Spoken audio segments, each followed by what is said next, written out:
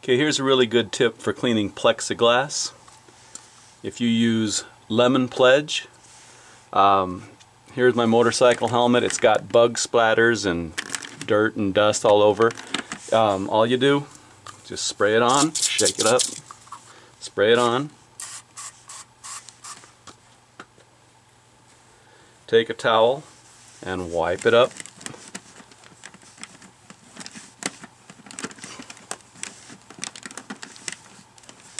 and when you're through it's completely clean. It works um, better than any window cleaner I've tried. Um, it's I'd recommend it to anybody to give it a try.